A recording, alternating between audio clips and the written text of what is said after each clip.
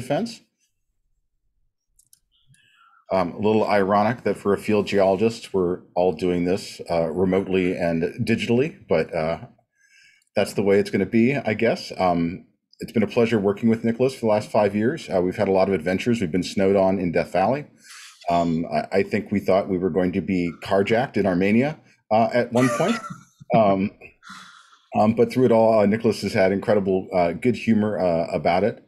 Um, he's going to be talking today about his work uh, primarily in Death Valley um, and two studies he's done in Death Valley and the Basin and Range, understanding the uh, early onset, the early initiation of extension uh, in the Western United States when the Western U.S. transitioned from being a mountain belt like the Andes to collapsing into the Basin and Range that we see today.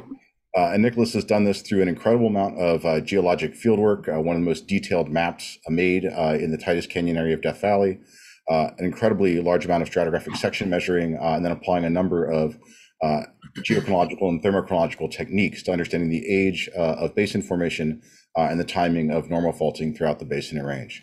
I don't think he's going to touch on Armenia today, um, but we had adventures there early on in Nikolas's PhD. Uh, we went to Azerbaijan with Alex Tye, uh, and then flew. Uh, when we had to fly to Moscow, we had to go to go 100 miles. We had to fly 1,200 uh, miles uh, to end up in Armenia. And I remember walking through customs, and then Nikolas just didn't come out. Uh, I wasn't sure that the Armenia project was going to go any further than that. Um, but eventually he was released, and we did our field work there. and he has a great chapter on the tectonic evolution of the Lesser Caucasus of the last 15 million years as well. Um, but it's been great working with Nikolas. Uh, sorry he couldn't be here in person uh, today uh, for this for this event, which is really an important uh, end to a PhD, uh, is to defend it and to share what you've done over the last five to six years uh, with those in our community. So without further ado, Nikolas, I'll let you take it away with your talk on linking continental extension to geodynamic processes in the Basin and Range. Yeah, thank you, Nathan.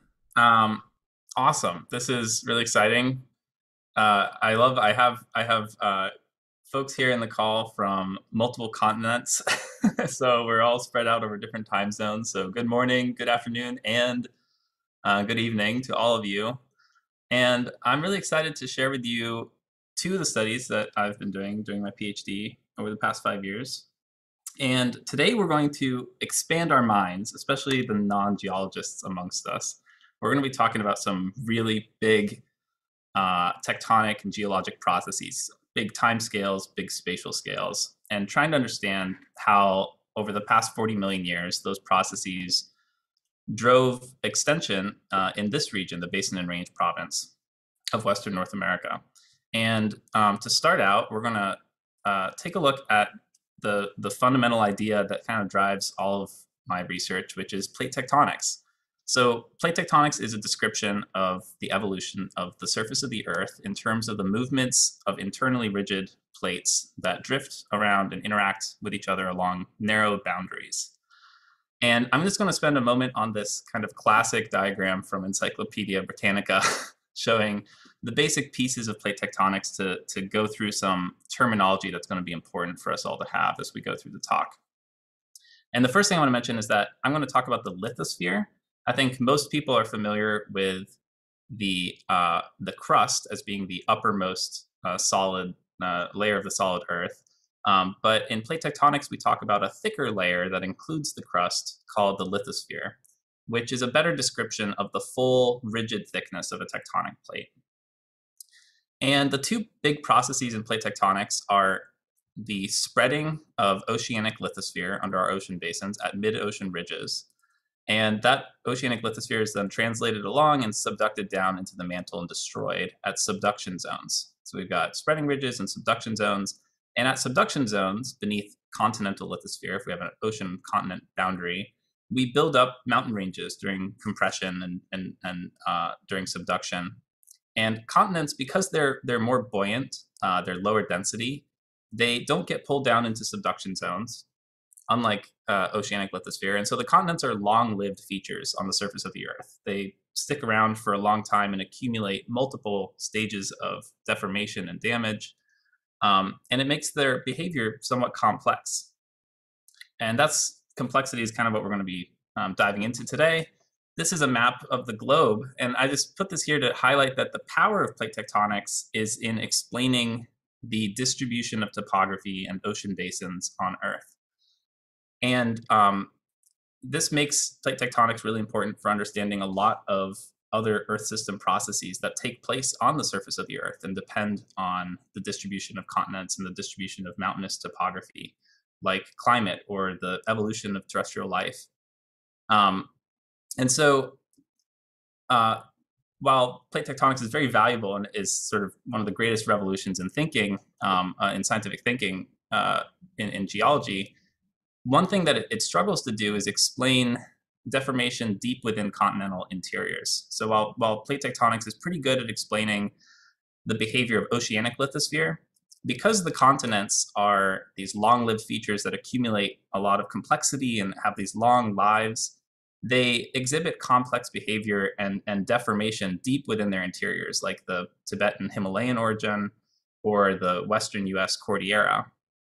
And so the one of the frontiers of plate tectonics research that, that I've been working on is to better understand how we can refine our understanding of how plate tectonics drives deformation and the formation of topography in, in the interior of continents.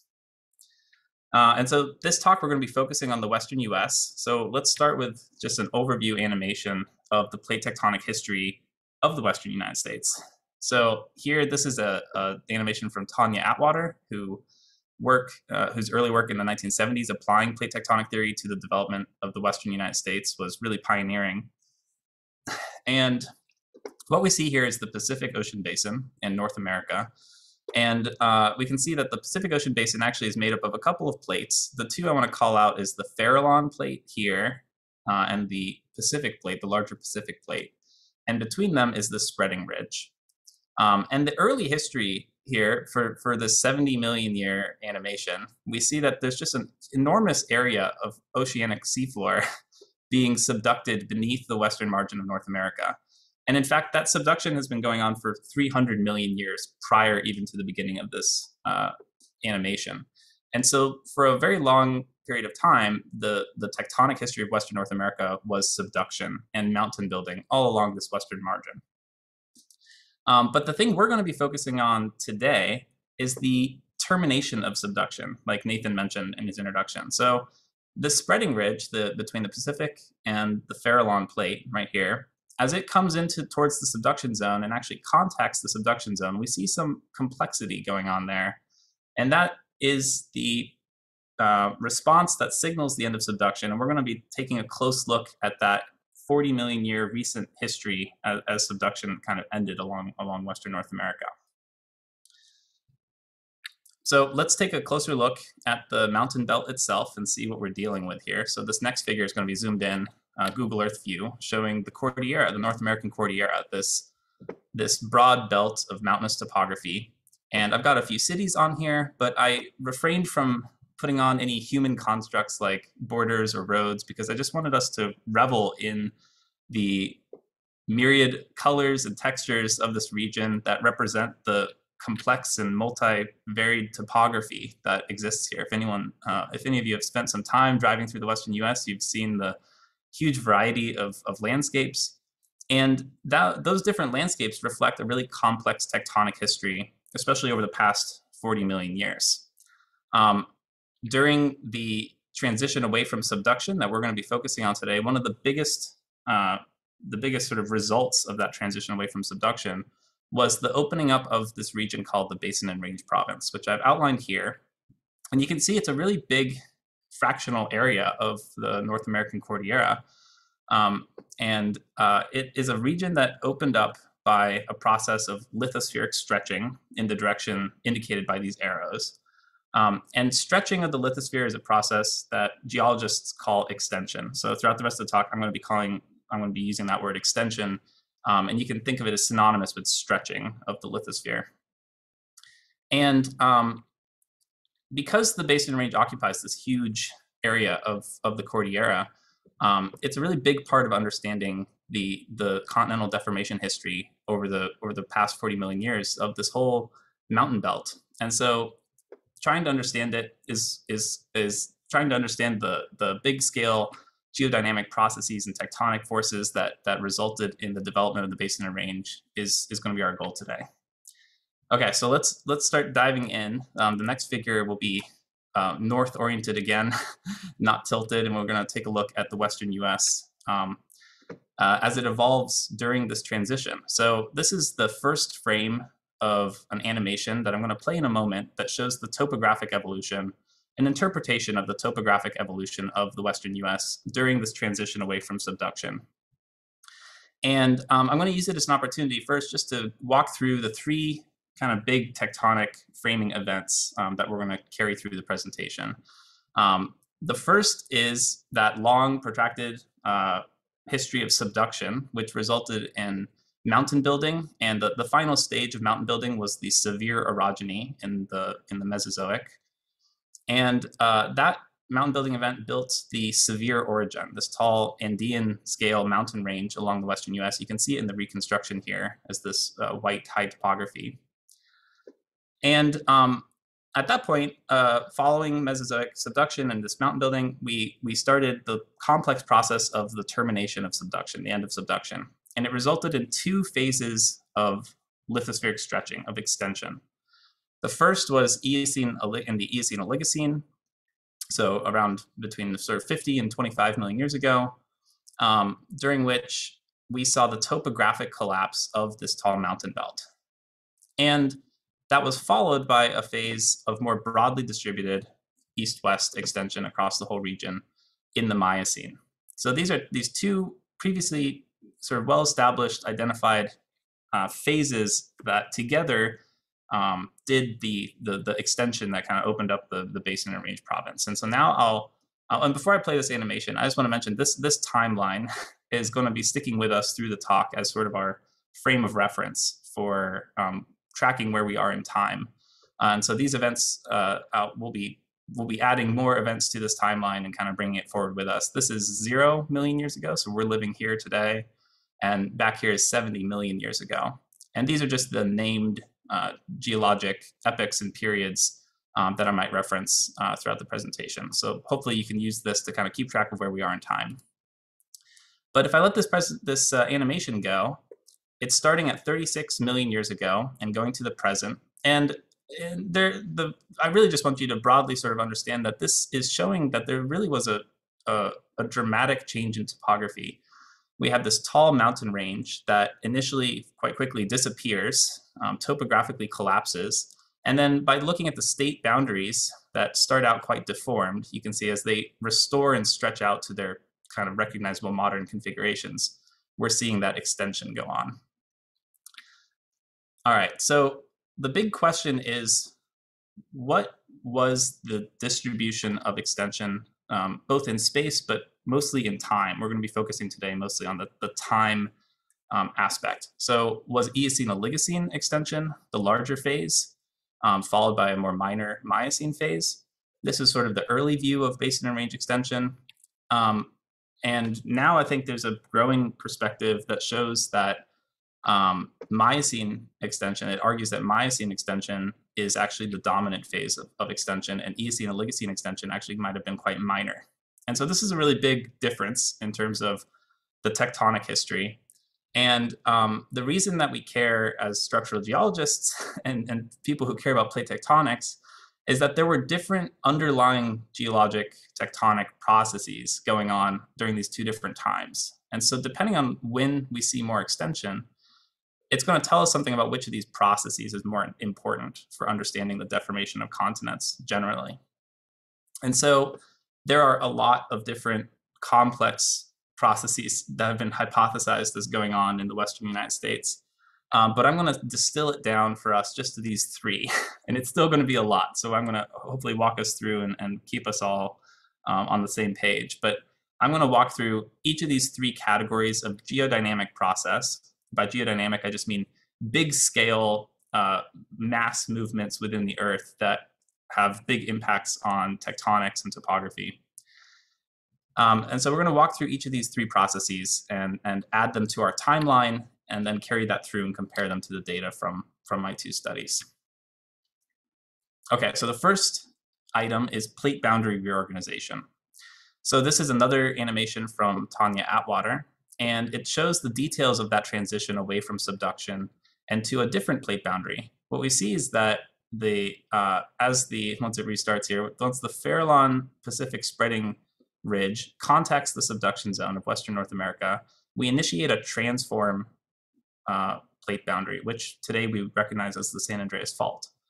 And that transform boundary grows north-south along the edge, and it kind of geometrically pulls open the Basin and Range province, induces extension in the North American plate. You can see Nevada here is skinny and then kind of gets pulled to its modern configuration, similar to our, our other um, animation we just saw. And so the initiation of this transform boundary at around 25 million years ago, we can add that to our timeline, is potentially one of the triggers for the initiation of extension. So we're going to be thinking about whether we can see extension initiating around the transform boundary initiating. But that's not the whole plate boundary reorganization story. Even prior to the transform boundary initiating, the Farallon slab um, was experiencing a slowdown in its rate of subduction. And so here's the Farallon plate before, and it's basically slowing down how quickly it's, it's approaching North America. And so if we take a look at that, this is uh, figures from Schellart et al. 2010, who show uh, three panels from 50, 45, and 30 million years ago, showing the Farallon plate getting skinnier and, and kind of fracturing up and breaking up as it approaches the subduction zone.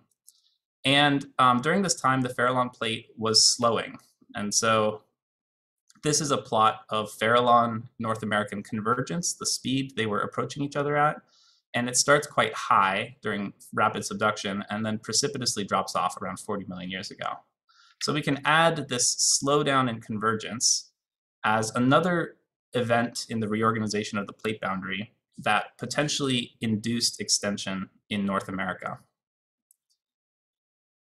Okay, so the next, we're, we've, we're done with plate boundary reorganization. We're going to now talk about the Farallon slab. It turns out it was um, doing unusual things even after it got subducted beneath North America.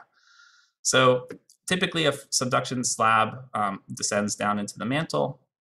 Um, but in the case of the Farallon slab, for some time um, towards the end of its subduction life, it was doing something called flat slab subduction, which means it was scraping along at a very low angle directly below the North American lithosphere. And the important part for our purposes, for understanding extension, is that the Farallon flat slab eventually was peeled away, and delaminated from beneath North America. And that process had a bunch of effects, including extension, and we can take a look at the details there. We're going to zoom in on a cartoon diagram showing this, this delamination process. And so here we're, we're looking at the North American plate and the Farallon plate laminated beneath it, and we're peeling away the Farallon plate from beneath North America. And what that causes is hot mantle asthenosphere to flow in. And uh, it has a couple of effects. One, it that hot mantle material heats up and weakens the North American plate, which can trigger extension. Um, and then it also has the effect of melting, producing some uh, magma that rises up and produces intense volcanism at the surface, right at the point where the, the Farallon is being peeled away. And this is actually very valuable because you can imagine that the peeling away of the plate happened over some period of time. And so it's interesting to us to track where the plate was being removed from through time. Um, and we can do that by looking at a map of the age of these volcanic rocks, basically that are produced right at this, this hinge. And so if we take a look at a map, this is the, in purple dashed outline is the, is the northern basin and range. And in green, we have contours showing the age of those volcanic rocks associated with Farallon removal. And you can see that the Farallon first was removed up north in Montana around 55 million years ago, and it proceeds to peel away from beneath North America um, over time until it, it, finishes peeling away around 20, 10 or 20 million years ago in the Central Basin Range.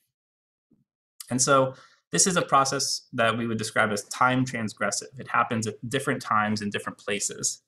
And I'm going to indicate it on our, on our cartoon by having this slanted line, and we'll say that Farallon removal starts in the north around 55 MA and ends in the south around 15 MA.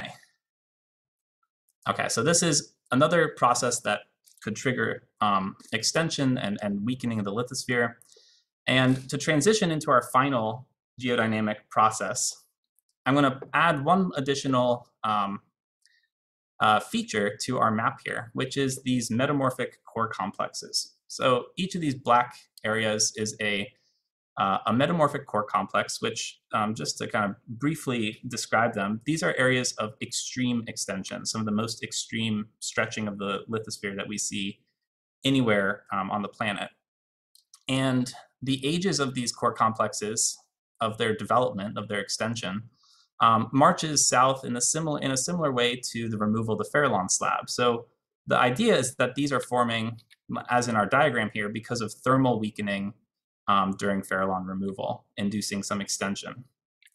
And the question though is why, if the Farallon was being removed across this whole broad region, do we only have a narrow band of core complexes running along the center, basically, of the basin and range? And the hypothesis to explain that is that this belt of metamorphic core complexes marks the original uh, location of that high topography of that mountain range, the Sevier orogen. And so we, we saw that mountain range here running along the Utah-Nevada border. The, the location of this range is inferred as being along where these core complexes are because the existence of that range may have concentrated stresses in the crust and encouraged more extreme extension during Farallon removal, resulting in this, this unusual spatial pattern we observe of a, of a narrow belt of core complexes beneath the broad, broadly delaminating Farallon slab. And so this idea that the topography itself, where we have a tall mountain range, a steep topography, could potentially create gravitational potential energy gradients that drive extension, um, we're going to add that to our, our timeline. And the way we're going to add it is by thinking about when, um, when this topography was collapsing. And so we can take a look at some data on crustal thickness across the basin and range. This is uh, an isotopic uh, proxy for crustal thickness from Chapman et al. 2015 um, that averages across a large area of the basin and range. And crustal thickness um, for, uh, for the non-geologists out there is a primary control on, on, elevation, on the height of a mountain range. So if we have more crustal thickness, higher crustal thickness, we're gonna have a taller mountain range. And so what we see in this history is that we start out at a modest crustal thickness, it rises up as we build the mountain range, around 100 million years ago, we hit this peak crustal thickness, and then we get a rapid collapse of crustal thickness. So we can interpret this as the collapse, topographic collapse of this mountain range, the Sevier orogen. And the timing of this collapse is around 50 to 30 million years ago. And so I'm going to add this collapsing mountain range um, diagram to indicate this time period when we understand that there was um, accommodation of, of uh, these gravitational potential energy gradients in the collapse of this topography. So um, yes, okay, that was a whirlwind. We made it. And this is some important context we've now built up. We've got these three drivers um, of extension or triggers of extension. And we've got them kind of oriented in time and we have some understanding of how they were distributed now. And we're gonna think about these two questions as we start taking a look at my two data sets. One is, can we um, untangle these overlapping triggers of extension? You can see that sometimes, like in the Eocene and Oligocene, um, we have uh, we have multiple triggers that are sort of overlapping um, at the same time in, in, in, in, time and space. And so being able to uh, isolate whether or not for example, Farallon slab removal or the slowdown and convergence at the plate boundary is the primary cause of extension in any one location is, is, is difficult. And so we're going to think about how we can do this. How can we separate these triggers? And additionally, we're also just going to be comparing the character of Eocene Oligocene extension versus Miocene extension. Can we say whether one seems like it was larger magnitude than the other? And what does that say about these, these driving processes more generally?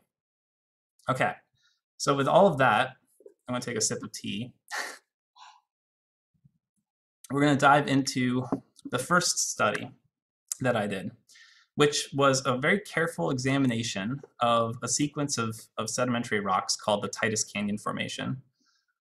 Um, these, uh, and you can see the rocks right here. It's this layer labeled Titus Canyon Formation. Um, they're kind of beautiful, stripy yellow, green, and red rocks, and they're exposed in Death Valley National Park, a beautiful um, place that's legendary today for being one of the most spectacular examples of active continental extension going on right now. You can go and take a look at it. I really recommend it.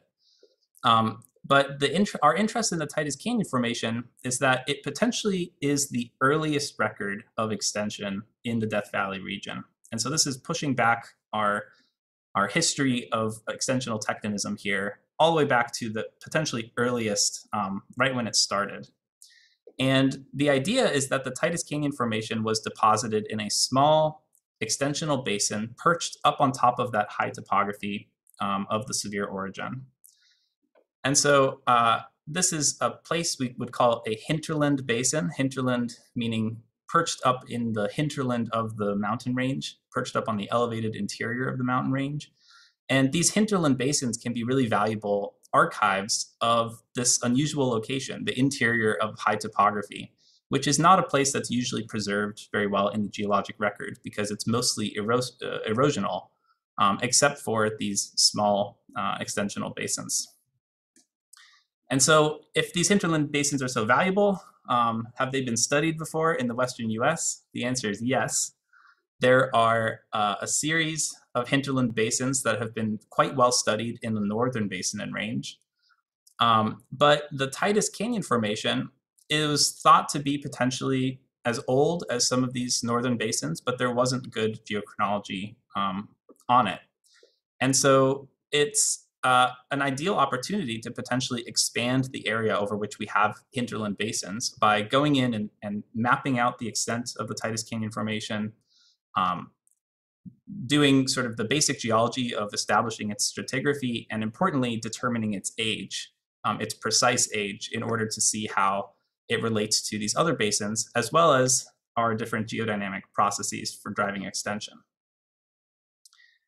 So to get at that idea of how we're going to use it to understand extension, um, we have this diagram that I'm going to build up here.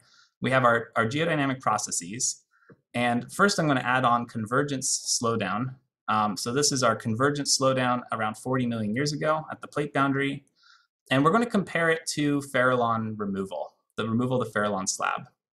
And just to explain here, each of these rows represents one of these hinterland basins that are strung out north-south along the basin and range. And so at each of these basins, the Farallon slab removal happened time transgressively. It happened earlier in the north and then more recently in the south.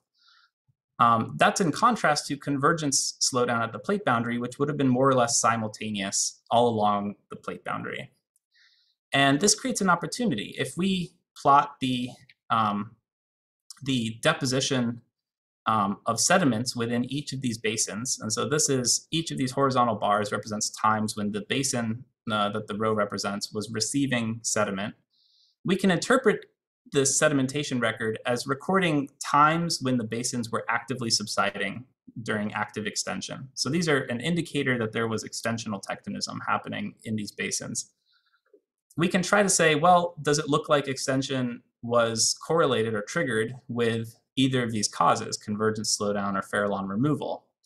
And what we see is that it's hard to tell because basically Farallon slab removal and convergence slowdown in the northern basin and range occurred around the same time, is overlapping.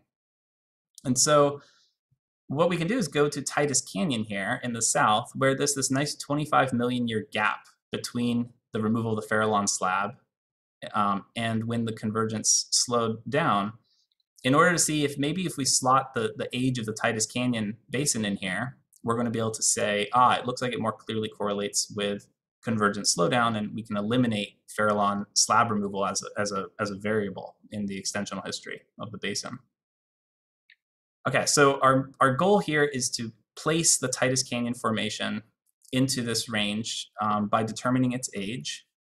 And the challenges are that the formation um, experienced a lot of deformation after uh, after its deposition, um, related to all that intense deformation in Death Valley. Uh, and it also lacks easily datable volcanic tuffs. So we're going to tackle these, first of all, by um, making a geologic map. So me and uh, an undergraduate, Bianca Galina, who did a huge amount of work on this project and was awesome, um, went out to Death Valley with Nathan and we did a lot of mapping and we we did a lot of puzzle solving essentially, figuring out undoing the deformation that had affected this region to reconstruct the stratigraphic architecture of the Titus Canyon Formation, the sequence of rocks. And that involved measuring a lot of different sections. Um, and we were also in the field able to map out extensional faults and confidently uh, say, yes, the, the Titus Canyon Basin is an extensional basin, but based on its structural relationships with, with normal faulting.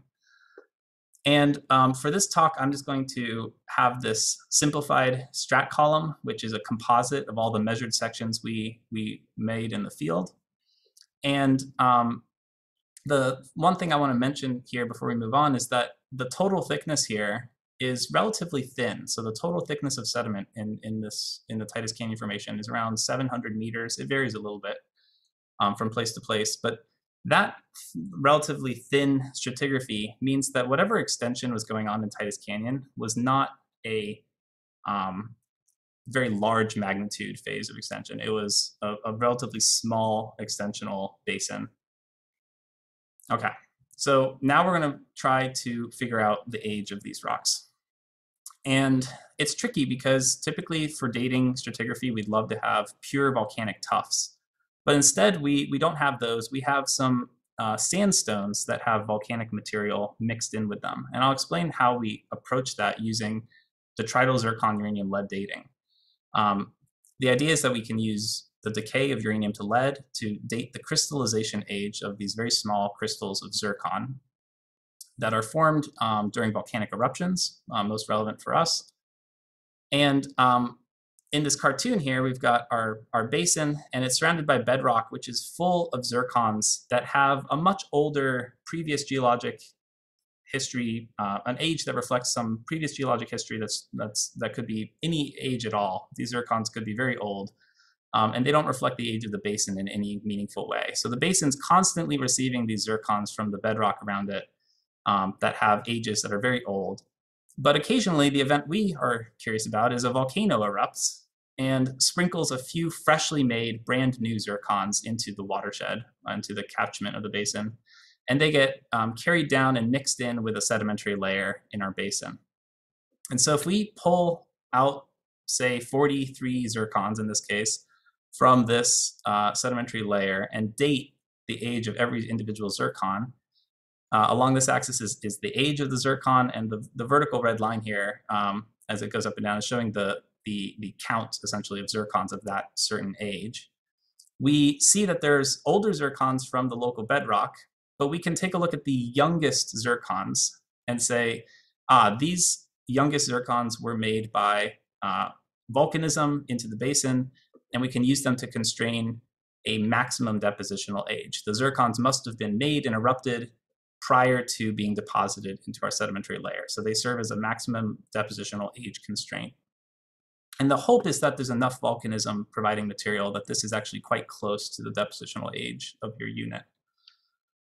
And so if we take a look at an actual sample from Titus Canyon, we uh, extracted the zircons and, and dated 87 of them in this case. And this is the full age spectrum. You see that there are zircons that go all the way back to 3 billion years, but zooming in, we only care about this youngest peak for our maximum depositional age. And this is a pretty good looking one. We have a good population of zircons that are, are young, and we can interpret that as a 31.5 million year old um, maximum age for this, for this uh, unit. So if we apply this MDA method to all of our samples through the stratigraphy, here is the relevant uh, young uh, population of zircons for each uh, sample. And the nice thing is that in these upper four samples, at least, we, we see that the ages get younger as you go up section, which is a nice confirmation that, yeah, it, maybe in fact we are tracking the deposition, progressive deposition of layers stacked up here um, as our ages get a little bit younger. Unfortunately, at the bottom of the formation, there were no there was not enough volcanism going on to produce zircons that we could get an, an age out of. but fortunately, we were collaborating with a uh, paleontologist who was examining these Titanothere skulls, which are uh, uh, uh iconic Eocene um, charismatic megafauna. And um, they these these uh, Titanotheres were found in this lower section of the formation. And so based on his work, um, we were able to say that by correlating this assemblage of, of unique fossils, the bottom of the formation dates from around 37 to 40 million years ago. And so we now, between the biostratigraphy and our, our maximum depositional ages, have pretty good age control for the whole formation, spanning between about 40 million years ago um, to 30 million years ago. And going back to our plot, if we add in that age range for the Titus Canyon Formation, we see that actually, yeah, it does really align beautifully with convergent slowdown at 40 million years as a potential trigger for the small magnitude extension that we see in the Titus Canyon Basin. Uh, and so this is a, an exciting opportunity to say, here's a place where, so basically while in the Northern Basin Range, you're not able to differentiate between this slowdown and convergence and the Farallon removal, here at Titus Canyon, because of this nice gap in time um, between those two triggers, we're able to isolate Farallon's uh, North American convergence slowdown as a potential trigger of extension. Here's a specific example of that. So yeah, we have small magnitude extension in response to slowing convergence from the Titus Canyon Formation. So thinking back to uh, our, our, our kind of big questions, can we separate overlapping triggers? Well, we basically applied space for time we traded um, where we are located to move around in time where when the Farallon slab was delaminated. And that's a powerful technique um, that I think has potential future applications in the basin and range to manipulate these variables as we examine the extensional response. And then um, in terms of comparing Eocene, and Oligocene extension and Miocene extension, Titus Canyon is a, is a specific example of Eocene, Oligocene extension that appears to be quite small in magnitude. Um, and so we're going to put a pin in that for now and move into my second study. Um, and then we'll come back and think a little bit about what the two studies together say about the character of extension across this region. Okay.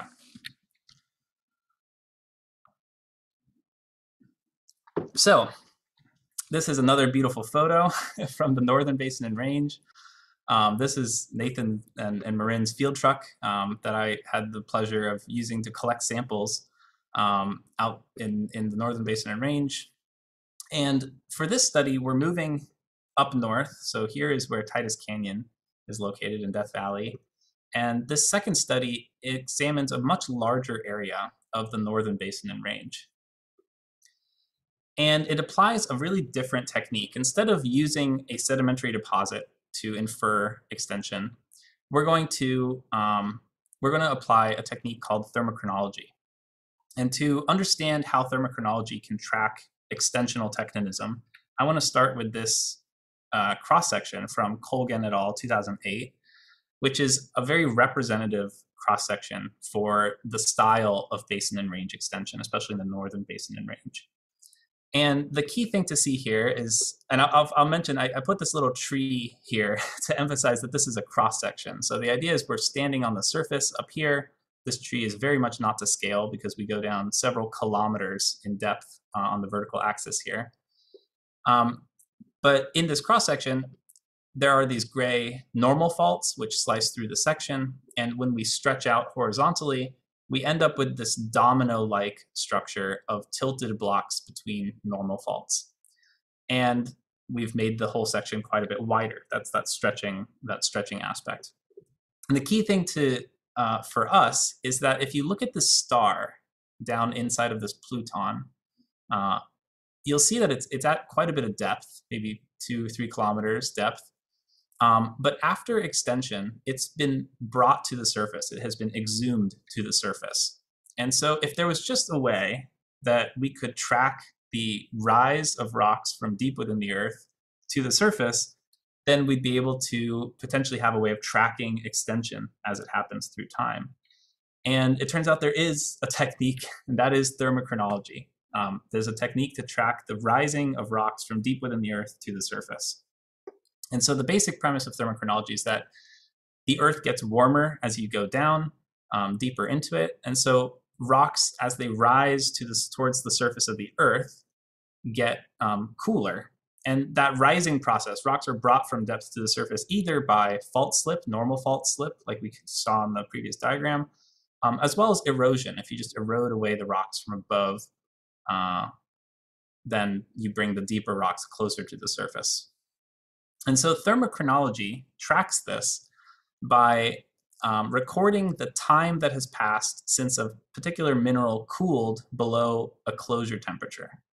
So basically, thermochronology is telling us how long it takes a rock to go from deep, where it's warmer, up to the surface where it's cooler. And the specific mechanism behind this um, is it, it centers on diffusion. And so uh, we're going to use an example here. This is um, one that I will actually use in the study. This is an apatite helium um, system. And so we have a crystal of apatite here. And um, there's uranium in that apatite producing helium uh, as it radioactively decays. And when the apatite crystal is hot, the helium that's produced by uranium decay is able to just diffuse out of the crystal and leave. And so the uranium to helium ratio, which is our radiometric clock in this case, never uh, is constantly being reset. It's never starting. Um, but once we cool that crystal down below its closure temperature, it slows down diffusion enough that we start retaining helium in the crystal. Uh, and that means that it's being retained and our clock has started and the uranium to helium ratio tells us about the time since this crystal cooled below its closure temperature. So there are a lot of different uh, thermochron therm thermochronometers, different thermochronologic systems that record different closure temperatures. And we're going to focus on these three, these lowest temperature thermochronometers, apatite and zircon uranium thorium helium, which I sort of described here, um, and then also apatite fission track dating, which is similar, except instead of producing helium, we're producing uh, fission track damage to the crystal lattice that instead of diffusing out of the crystal, just gets healed in place through annealing. Uh, and these are sensitive to very low temperatures, 60 to 200 degrees Celsius, meaning that they're going to be very sensitive to um, the perturbations that we're curious about, the, the, the vertical movement of rocks in the upper crust where extension is, is happening. So we've got our technique now. We can track rocks as they rise through the crust, um, driven by normal faults, and we just need some samples. So here is the Northern Basin and Range, and the, the point of this slide is, and I, first I just want to say, so we are we're going to be sampling plutons and for the uninitiated out there a pluton is a magmatic body. It's when magma rises up and instead of erupting out of a volcano it it um, freezes in the crust um, producing a coarsely crystalline granite for example as a common type of igneous rock. Um, and so plutons are just these crystalline bodies that are that are emplaced deep within the earth. And they're ideal for thermochronology sampling because they are uh, rich in apatite and zircon. And so we want to find the plutons in the basin and range because the alternative, the rest of the basin and range, most of it uh, is these blue rocks, which are limestones and shales, and they have very, very few apatites and zircons that we need. And so you'll see that a lot of these previous studies have already nabbed all the really great loca locations to do thermochronology. Um, we've got our metamorphic core complexes here, all of which have been studied uh, in depth with thermochronology, and so we don't need to repeat that. But there are these gaps here and here where there's no thermochronology, and previously it's just basically because these very small plutons didn't make the ideal target for thermochronology. And so we decided to try it out, and we're going to sample these very small plutons, and um, we're going to extract meaningful tectonic histories from them by applying multiple thermochronometers, all three of those thermochronometers that I highlighted um, just now. Uh, and just to give you a kind of picture of the scale of these things, here's a mountain range. Um, this is the Newfoundland range, and there's a small pluton in the northern end of it that we drove very circuitously. Actually took two attempts to get out there because of uh, bad weather and, and popped tires. but we, we collected a rock from here, uh, a bag of rocks, and then we're able to analyze that. So these, these are going to be our samples. And I just want to uh, here emphasize how we're able to use our three thermochronometers to extract a meaningful tectonic history. And that is through, um, yeah, so as we have a pluton, this is another cross section, a little tree.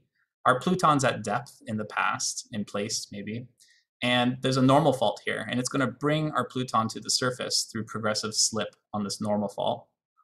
And each of these horizontal lines is the, is the depth that corresponds to the closure temperature of our three systems, zircon being the warmest and deepest, and apatite being the shallowest and coolest. And so as our Pluton rises through each of these closure temperatures, we start that clock and today are able to recover the time since it passed through that level. 10 million years for apatite helium, 20 for apatite fission track, etc. And so these ages, these this span of ages gives us a sense of how quickly the rock rose from depth to the surface and therefore how quickly it was exhumed by this extension, how quickly the extension was happening.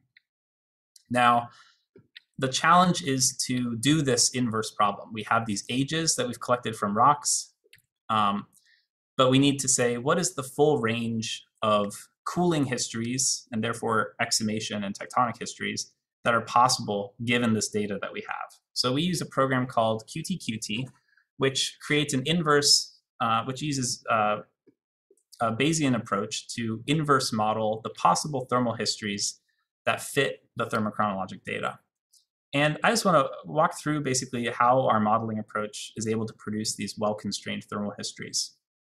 And so we're going to be looking a lot at a diagram like this, which is a time temperature diagram. So time is marching along across the top here. Here's the present, and temperature increases with depth. Um, we can assume a geothermal gradient, the rate at which the Earth gets warmer with depth, which is relatively consistent um, across the Earth. So this isn't a crazy assumption. Uh, to uh, translate our temperature increasing down here into our depth increasing um, as a, an equivalent axis. And so this sort of becomes like a cross section uh, with the top axis being time instead of distance. And just as an example here, we have a sample, say, that plotted on here that I would describe this as slow cooling initially. It then sits at the same level in the crust for a very long time, no cooling. And then rapid cooling um, is indicated by these vertic more vertical components to the path. And so this is a possible path that a rock could take through time to get to the surface. Eventually the rocks have to be at the surface because that's where we collected them. So the way the modeling works is it tests many possible time temperature paths and it compares the uh, cooling ages that would be made by any of these by, by each of these paths to the actually collected thermochronologic data that we have. And it says which ones fit the best. And so it, it narrows down, it converges on the suite of paths of cooling pads that produce thermochronologic ages that matches the, the data that we collected. And instead of showing the tens of thousands of model iterations that we run through, um, this is just sort of a cartoon here, um, we show instead a, a, simplified version here with a 95% um, uh, credible interval. So 95% of paths are within this blue region. And then we have a maximum likelihood path shown by this purple line running along the center. And so this gives us an idea of how well constrained our cooling path is and what it does through time. Okay, and this is the, the essence of thermochronological modeling. The uh, power of QTQT is that it also allows us to add a few additional constraints. So yes, we have the thermochronologic data um, that I just ran through, we provide the window over which it searches the different paths. So it, it, we give this whole uh, window of time and temperature over which to search. And then we also provide a number of geologic constraints. And so this is for the super thermochron nerds who care about these sorts of things.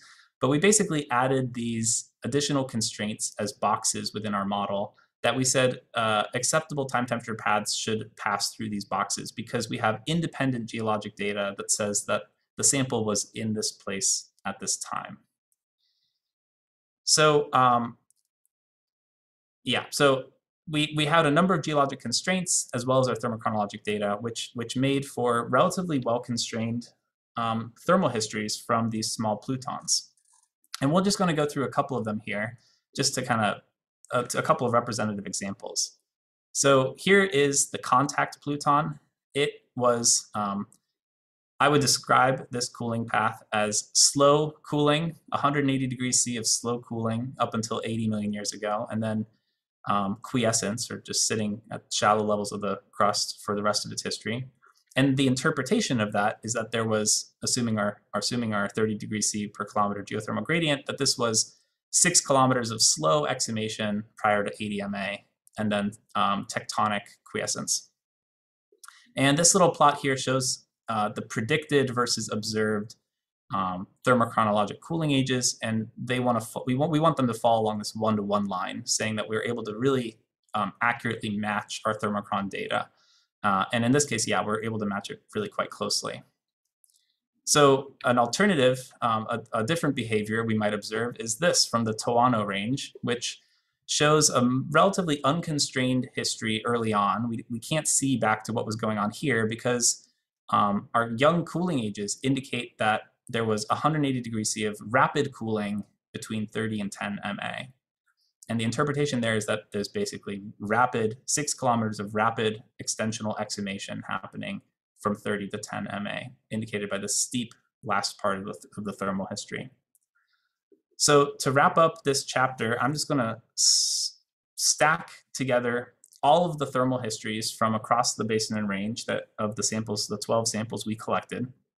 And we're gonna see if there's any patterns um, in our data that tell us something about the character of extension broadly across this region. And the first thing I'll do is we've got our context for reference down here.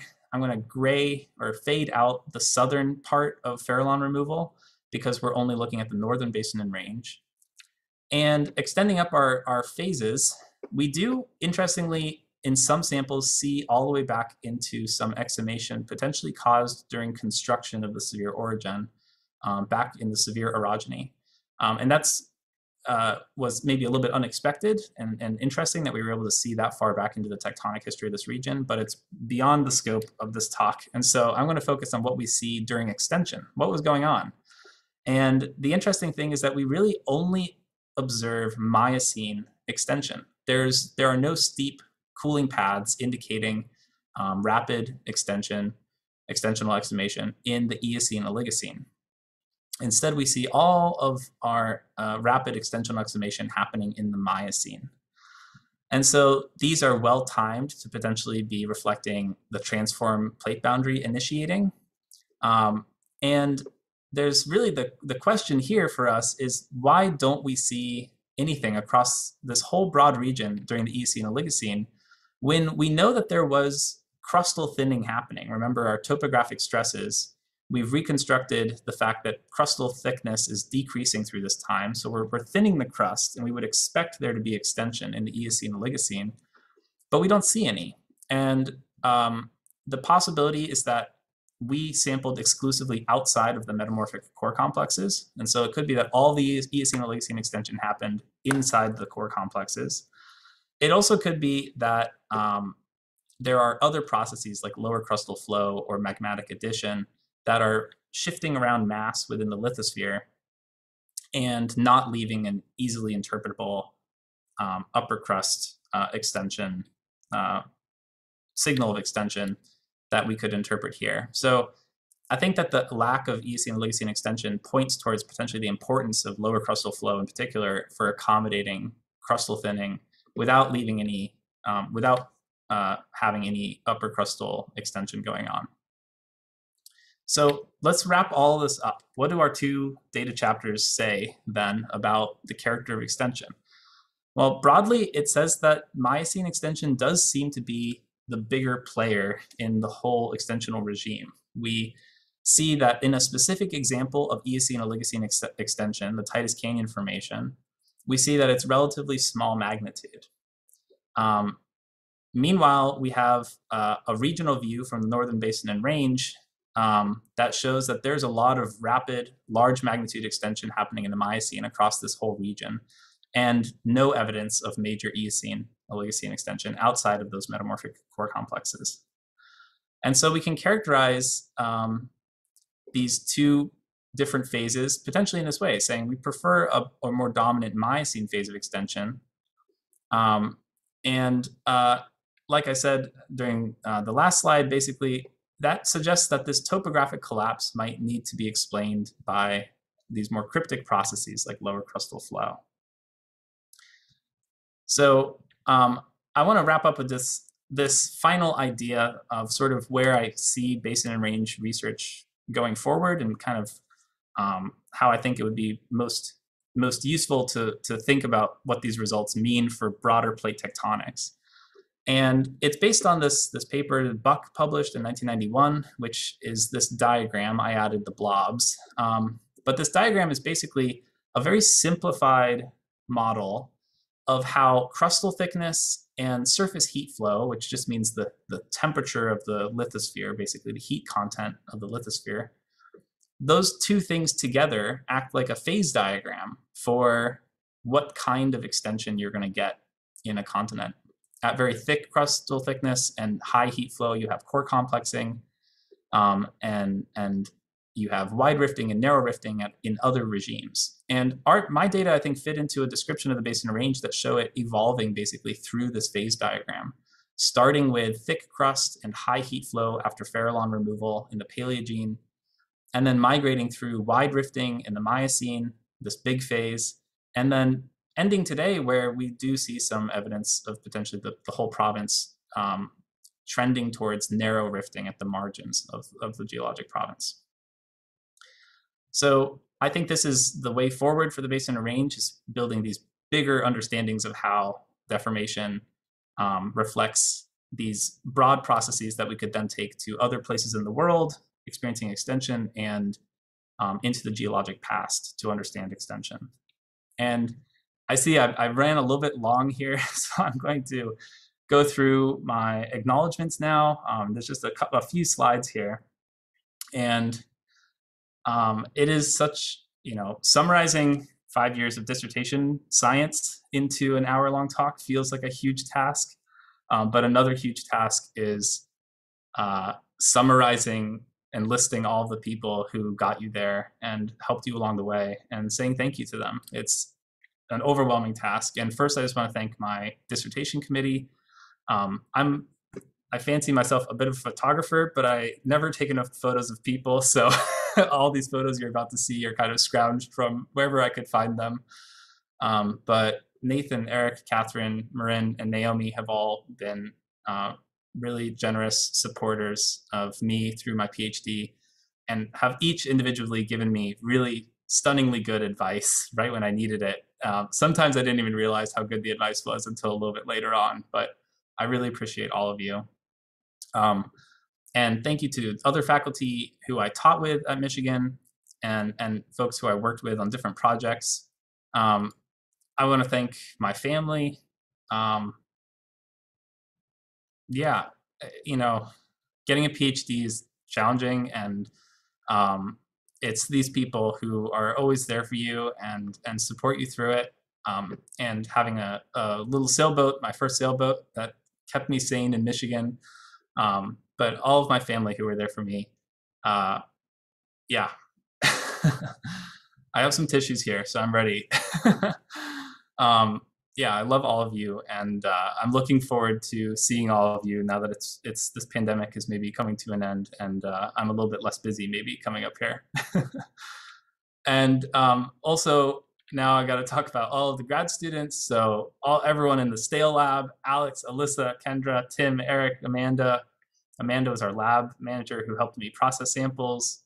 Bianca, Kirk, Billy, uh, all of you are um, were huge support the whole 2016 cohort. You guys were a huge group. I couldn't list all of your names, all 21 of us, but um, yeah, I appreciate all of you. And I did a lot of teaching um, during my grad career and really loved it. And I worked with so many grad students on teaching or teaching projects.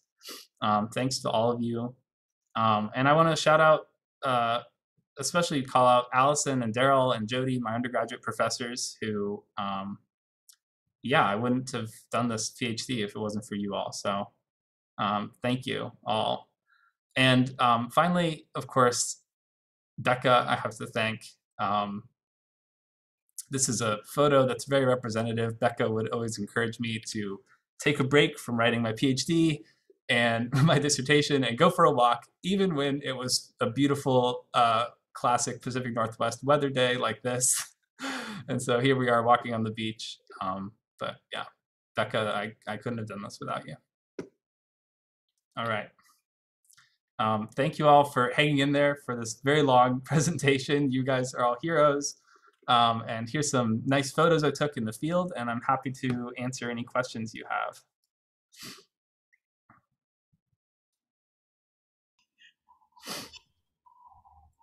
All right, thanks everybody, and thanks Nick. Um, we'll take questions from anybody from the chat, or if you just want to turn on your uh, video and raise your hand. Um, the committee uh, will will ask their questions later in a private session with Nicholas uh, after after a short break. But if anybody has questions, uh, feel free to put them in the chat. Uh, And I- I- say them. Yeah, I see a couple of questions already that came in earlier, and I can run through those quickly. So uh, I see where did the crustal thickness data come from? Um, that data from Chapman is uh,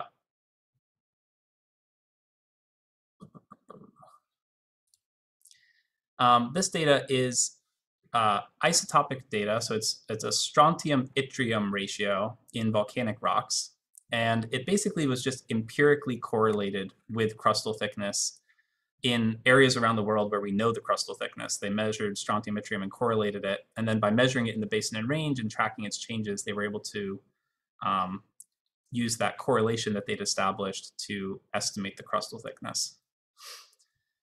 Um, Sarah asks about the 30 degree C kilometer geothermal gradient. Would geotherm be steeper? This is a very good question. So geothermal gradient is a key part of interpreting thermochronologic data. And um, in terms of it sort of we you know when we model thermochronologic data, we do it exclusively in time temperature space. We don't think about depth. Um, and so we sort of then translate the temperature changes we see, the temperature history, into a depth history of exhumation using the geothermal gradient. And so the magnitudes of extension that are implied by the same amount of cooling would vary depending on the geothermal gradient. And for sure, the geothermal gradient has changed through the through geologic time. Um, 30 degrees C per kilometer is the is approximately the modern geothermal gradient in the basin and range. Um, and paleo estimates of geothermal gradient are often very hard to come by and uncertain and may not be representative of how exactly it's changed through time. So what we often do is sensitivity testing of different geothermal gradients to see if that changes our interpretation. Um, and in the case of the basin and range data, actually, it's these these data are really not that sensitive to geothermal gradient. We're going to interpret a similar tectonic history regardless of what sort of geothermal gradient we use. But that's a really good question. Um, I see Jeroen has a question. Um, why the Farallon slab delamination was north-south oblique to the direction of convergence? Yeah, that's um, that's a really good question. I so here's our map. it's a great question. Basically, Jeroen's asking if the plate boundary was here approximately, the subduction zone, and you can imagine the flat slab being pushed underneath North America. Why did it peel away from north to south? Um, and I would refer you to Eugene Humphreys' work um, and and follow-up papers that look at uh, imaging the mantle and, and the modern Farallon too that to try to reconstruct its history. My sense is that I think a, a slab tear may have opened up in the in the north. Um, that may have propagated south, but I, I, would have to look into that in more detail before I could confidently answer. Um, I think it has to do with the subduction, the, the plate dynamics at the margin opening up tears and things, and then um, that would initiate the delamination and it would progress into the interior of the plate. Nathan, do you have a comment there?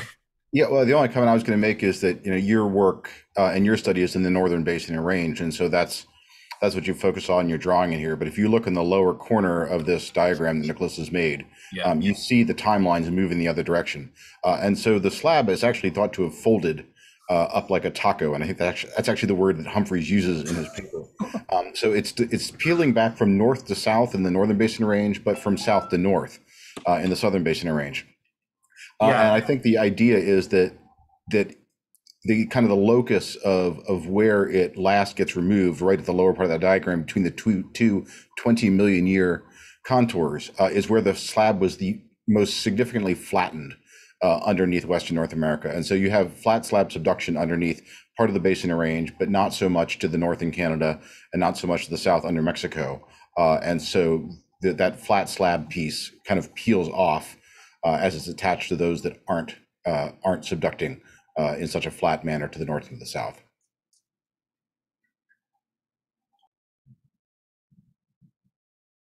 Thank you all for your very nice comments in the chat. I see them. It's a very important question here, Nicholas, but it appears to be in Norwegian, and so I'm not sure I can translate it. Oh no. Uh, Um, Let's see, Nick, I have a question. I can't un- undo my video. I guess it's Oh, being sorry. controlled by you or by Nathan, oh, by a wizard. Um, but, um, and even though I'm on your committee, this might be a more general question that might be worth exploring here. Um, I was curious about your interpretation of the um, Titus Canyon Formation as a, as what you call a hinterland basin. Because as you yourself pointed out, those are unusual features um, because of the high elevations eroding. Um, other than the, the, your reconstruction of it So as, you know, as in a certain place on this map that you have on the, on the, in front of us now, why do you think it was formed at high elevation? And would you have gotten those incredibly, um, those big uh, breccias at high elevation, especially since you mentioned um, that this was supposed to be a low relief um, altiplano or Nevadaplano. So I'm curious, how are you getting that kind of the, the patterns of the facies sequence that you find at Yeah. high elevation? It's a really interesting uh, idea, but I'm curious to know more. I'm I'm also curious uh, to get more data constraining that. I think it's probably a little bit speculative at this point. Uh, Nathan and I framed our understanding of Titus Canyon in that paper in terms of linking it, it, it temporally. It's you know it's prior to the initiation of any extension. Um, it's the earliest example of extension in, in in the in the central basin and range, and that's what marks also the these more confidently determined hinterland basins to the north, the Elko Formation and Sheep Pass. Um, and I would say that the Sheep Pass Formation strikes me as a potentially very similar basin to Titus Canyon. It has a similar litho facies sequence of coarser conglomerates at the base, um, grading up into finer rocks with with uh, lacustrine deposits um, higher in the section. The Sheep Pass also has um, a sort of renewal phase in the Eocene. It's because the uh, if I go to the diagram um, here, the Sheep Pass Basin here starts very early um, and is thought to represent sort of over uh, over steepening of the the of the you know Sevier orogen and topographic instability, opening up some extension on the on the top of that of that critically tapered wedge. And it's confidently linked to be an extensional basin. And this um, renewal here, um, with coarse deposits appearing again uh, as the bottom, these are, I think, somewhat similar to kind of what we see in Titus Canyon. And so I guess I would say I, I think that Sheep Pass is an example where we could say, like, here's a more confidently identified um, hinterland basin that looks, I think, similar lithostratigraphically. The Titus Canyon Basin, though, it has limestones in it. I think it would be exciting to try to do paleo elevation on it to see if we could get more um, uh, direct evidence that it was deposited at high elevation. Um, but yeah, it's the, interpreting it as a hinterland basin um, may be a little bit speculative. Part of it is that it's just being deposited in this location um, prior to any extension and following when we know there was major contractional mountain building across this region. So sort of the expectations that there might have been um, high topography across there where the basin is, is sitting. Um, Thanks. but it's You know, something that, that- needs to be explored Right. for sure. that will make its fossil assemblages exceptionally useful for, because we have very few high elevation fossil assemblages that are that old. So that was one of the reasons that it really caught my attention. Yeah, I, I would be. I'm I'm sort of hopeful that uh, it might be a hinterland basin. I think if it ended up being a low elevation basin, that would be um, that would be interesting as well because it would change our understanding of the paleogeography of the sort of southern central basin and range there at this time period. So, um, yeah, it's definitely I think an area that could be explored. And I see uh, Mara has a question about the biostratigraphy. Uh, that charismatic megafauna. So they are titanotheres. Um, I know very little about titanotheres uh, besides hearing Bruce uh, talk about them. um, and they made an appearance in the movie Avatar, so they're obviously quite charismatic. Um, one of the mythical creatures in Avatar is based on the Titanothere. But these are, yeah, iconic Eocene age, um, sort of rhinoceros looking mammals um, that have these huge skulls. Um, and the, I think the one of the best examples of an articulated skull uh, was found in the Titus Canyon Formation. So, um, and then the follow up: Can we use paleontology to aid in reconstructing tectonic histories? Absolutely. I, I couldn't talk about it in this talk, but something that kind of happened near the end of my research is talking to Catherine and Catherine's group about their work on paleontology in the Western US, looking at this explosion in mammalian um, biodiversity that happens at the same time as basin and range extension, and that they're exploring whether those things are linked.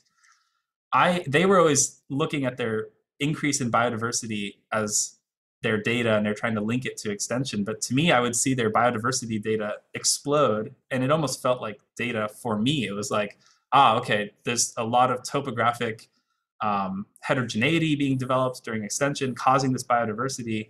And all of that biodiversity explosion happens in the Miocene. So I, I think it's more evidence that the Miocene phase of extension was the more widespread, larger magnitude um, topographic change driving phase of basin range extension, as opposed to Eocene Oligocene. So yeah, I think paleontology and tectonics can definitely uh, work together. okay. All right, well, maybe we take this one last question from Alex, uh, and then take a short break, and the the committee can reconvene. Sure, yeah. So how much crustal thickness would reduction would be need to occur in Eocene and from the Chapman data? And can the mechanisms you mentioned, assuming minor Eocene and Oligocene extension, account for this amount? That is an excellent question. So if if we're not seeing widespread uh, upper crustal extension in Eocene and Oligocene, um, and if our if our hypothesis there is that we have a lot of lower crustal flow, a hot uh, lower crust that's flowing to accommodate crustal thinning. I mean, my work doesn't, I, I don't know the answer to that. I would have to work through that a little bit and think about it. Chapman's data shows, um, sorry, I just pulling up the figure.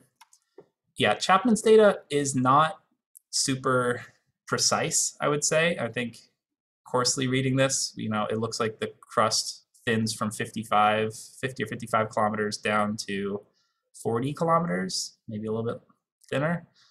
Um, so that's not a ton of thinning necessarily. 40 kilometers is still rather thick crust. Um, and there's other work, you know, I think about McQuarrie and Chase, um, that paper which hypothesized that the flow of lower crustal material out of from beneath the Sevier orogen out into the Colorado Plateau, potentially raising the Colorado Plateau. That paper is, I think, controversial, but it definitely deals with exactly what your question's about. Like, what would the magnitudes of of crust, lower crustal flow be? You know, what magnitude would be required to accommodate this amount of crustal thinning in the observations? Okay. All right. Well, thanks so much, Nicholas, for sharing that with us. Thanks, everybody, uh, for joining us online from uh, all around the world. uh, why don't uh, the committee take a, a break till 1.30 and then we have a Nick, uh, sorry, another link from Nicholas for the committee um, to meet at, uh, and we can meet at that time for the private part of the defense. Uh, so again, thanks, Nick. Congratulations uh, on finishing the, the public talk, uh, and we'll catch up again uh, in about 10 minutes or so. See you there. Thanks, everyone. Congrats, Nick. Congrats, Nick. Thank you. Congratulated. Yeah, Great congratulations. job, Nick. Thanks, Sophie. Super Good happy. job, Nick. Nick. Good stuff. Congrats. Nick. Ja. Men uh, kan du høre? Ja, jeg kan høre deg nå. Ja, det får ikke på video. Det er samme det. Gratulerer. That was uh, really awesome. Oh, so proud of you. Thank you. Ja, Did you? Uh, how did you follow it? Was it? Was it? No, I I followed it really easily. It was, Oh, okay, okay, good.